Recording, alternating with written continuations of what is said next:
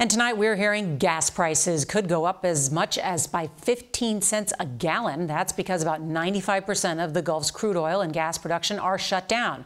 We're talking hundreds of oil platforms serving at least nine refineries in the region.